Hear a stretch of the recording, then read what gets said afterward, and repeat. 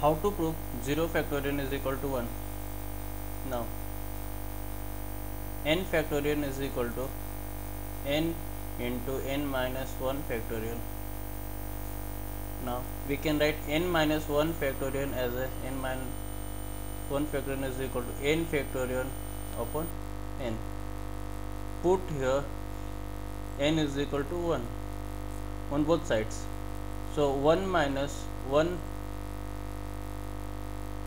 is equal to 1 factorial upon 1 so this is 0 factorial is equal to 1 factorial upon 1 we know 1 factorial is 1 1 upon 1 that is 1 so 0 factorial is equal to 1 proof.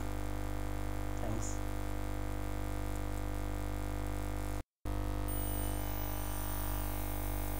How to prove 0 factorial is equal to 1 now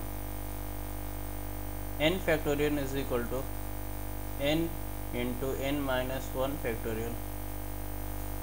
Now we can write n minus 1 factorial as a n minus 1 factorial is equal to n factorial upon n. Put here n is equal to 1 on both sides. So 1 minus 1